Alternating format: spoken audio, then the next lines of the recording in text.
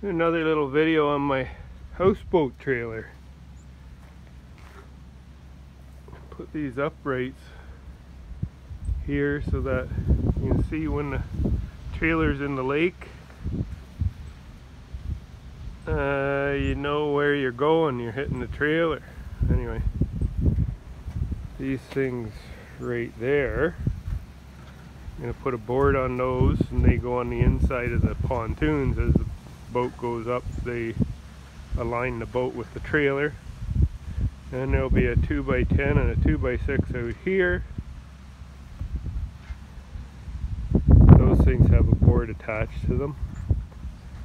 So these boards will go on here. And then a, a one 2x10 up the center to catch the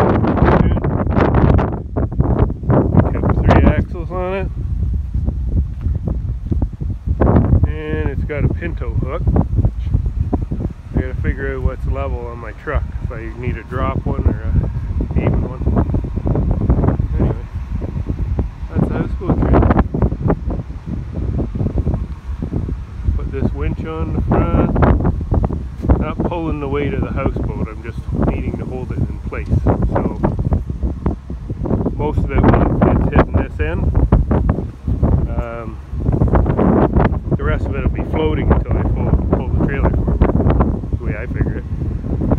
Anyway, where I'm at right now, heading to town to get some more material.